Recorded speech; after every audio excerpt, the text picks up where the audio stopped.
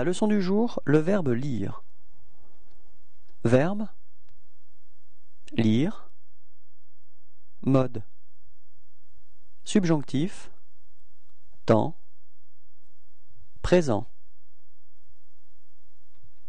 Que je lise. Répétez.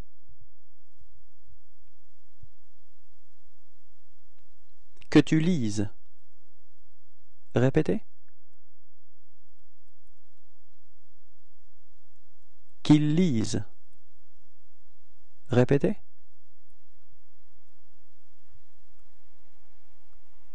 Que nous lisions.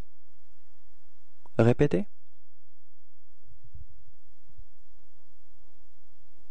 Que vous lisiez. Répétez. Qu'ils lisent. Répétez.